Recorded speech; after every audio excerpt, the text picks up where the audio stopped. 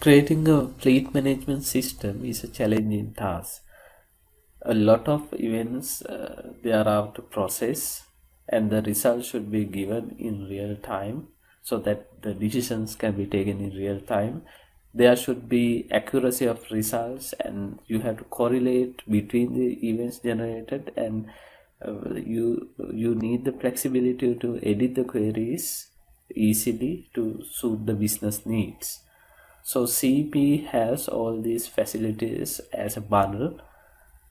Uh, so let's look at the architect of the solution here. Geo dashboard of CEP is itself a Jaggery application. You can define various uh, execution plans to the admin consoles. And the event flow is evaluated by those execution plans and the outputs are shown in the map First, let's let us have a look at how to set up the dashboard of uh, CEP.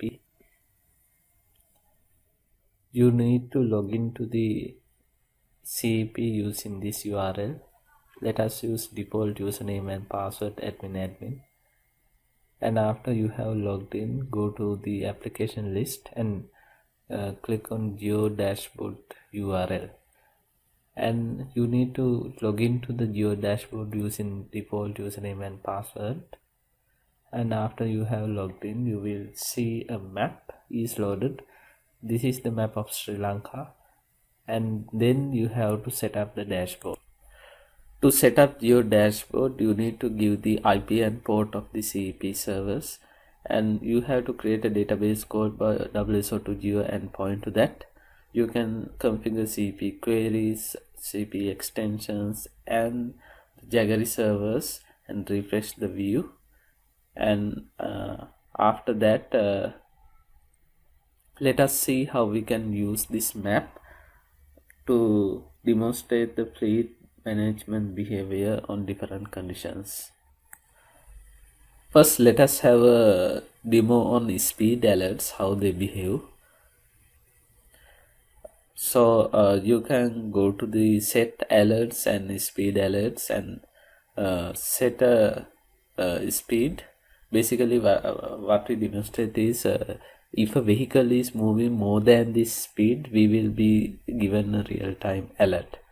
So you can deploy the query and then we have a, a data agent uh, written simulating uh, the geo coordinate feed uh, basically what it reads uh, does is it reads from a file and input uh, uh geographic data the coordinates.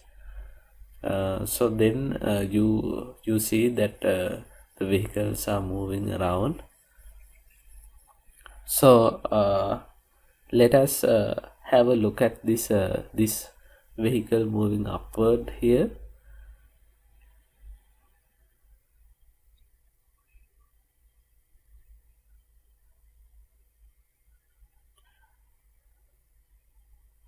so uh, uh, if, its speed has grown more than the speed we have set we will be given an alert. So that's the idea of uh, speed alerts. So you can search for the relevant vehicle as well. Uh, in the right side of the uh, uh, dashboard you can see the real-time uh, speed variations and also the alerts that have been triggered for this vehicle. Let us see how to implement speed alerts behave with WSO2 CEP. This goes with the architecture we previously described. GPS data over HTTP is the geo coordinate feed that comes into CEP over HTTP protocol. Basically, it is an event adapter in CEP if you go to configure input adapters you can see GPS data over HTTP adapter is there so uh, WSO2 CEP supports several type of input adapters like email, file, HTTP, JMS, etc. For a particular type of adapter, adapter type, users can configure the properties there. So GPS data over HTTP is fed into J tracker JSON builder. Essentially, it is an event builder in CEP. What it does is converting the stream that comes over HTTP into individual events. Input mapping type is JSON and uh, a particular event has ID, timestamp, latitude, longitude, etc. Then we create a stream called raw input stream out, uh, out of that. So raw input stream has raw input stream has this definition it is called a stream definition and this is an sample event uh, you can see we have all the data there. So then raw input stream is fed into input standardizer. This is a uh, this is a uh, event processor which generates an id for the events that comes in. It's at the new field called event id for the events. It outputs a new stream uh, with the modified uh, modified events. It is called standard spatial events. So this is the uh, stream definition of that.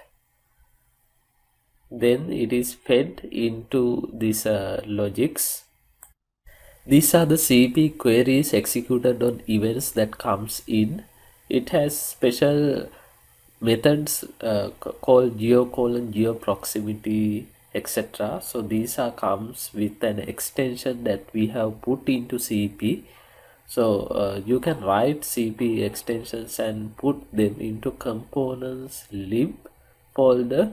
So you can see geo proximity and alert chain notify extensions are there.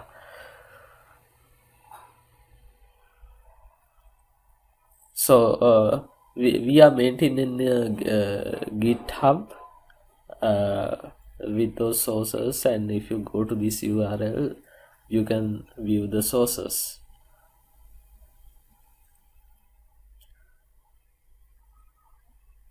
So after those events, processed event by Siddhi queries inside CEP is then fed into processed spatial event stream. It has two new fields called uh, state and information. It, state can be one or more of uh, speed, proximity, stationary alert, uh, alert types, etc. Uh, and in the description, in the information, we have uh, the the description of each state so then this it is fed into another CEP event processor. It decides whether to notify the events basic based on the priority etc so it needs to notify if it is not need to notify it adds that into the event alerts output stream so event alerts output output stream uh, has these uh, uh, definition uh, it also generates a stream called fuse spatial events. It has boolean field whether to notify the event. Then uh, to show the alerts we need to convert them back using formatters. So MySQL formatter formats the events to be inserted into the database while GeoJSON formatter converts them into JSON so that they can be sent to the Jaggery server.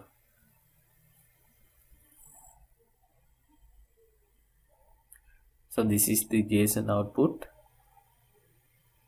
of a particular notification.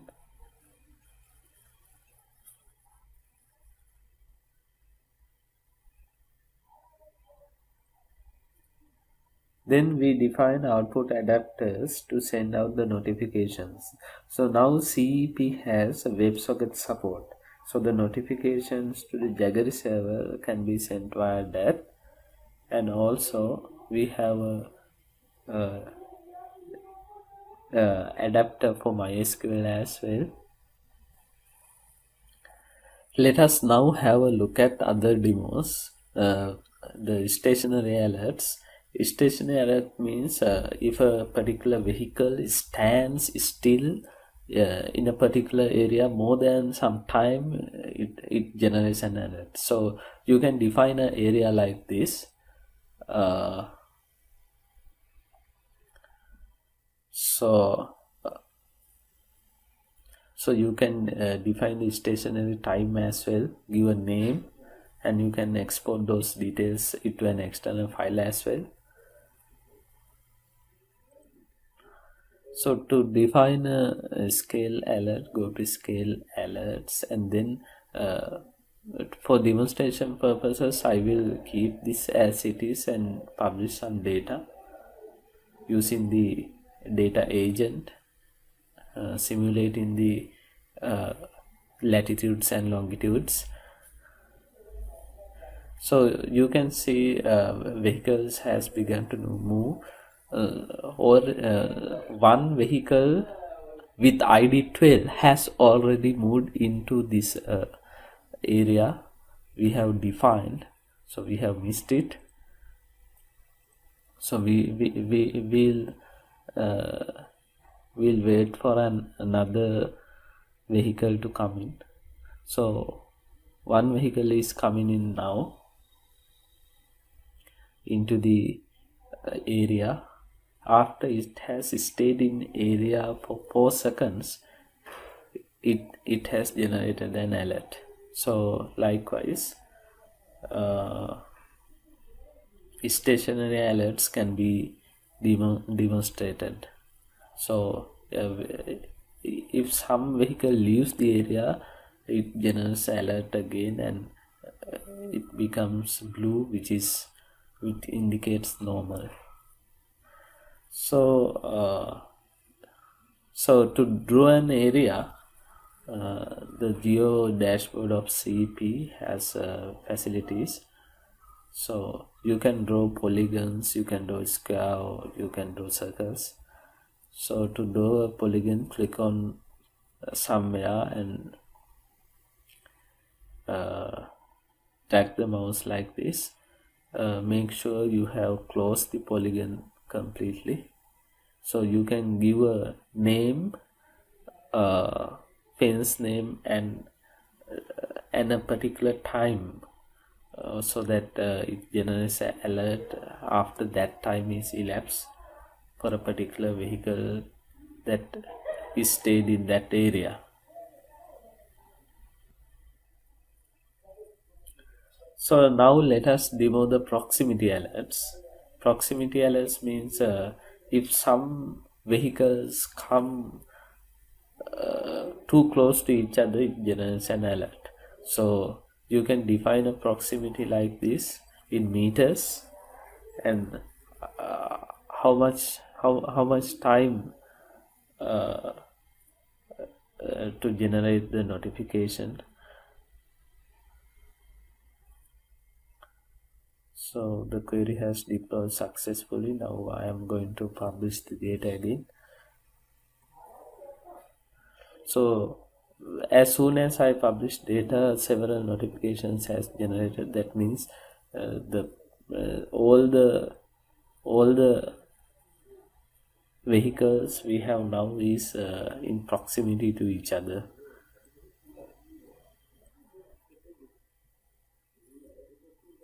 so you can see uh, the vehicles are colored in pink. So so they are in proximity to each other. So uh, if you if you click on one vehicle you can see the details. So likewise WSO2 CEP can be used to process real-time events and generate useful alerts it has ability to process millions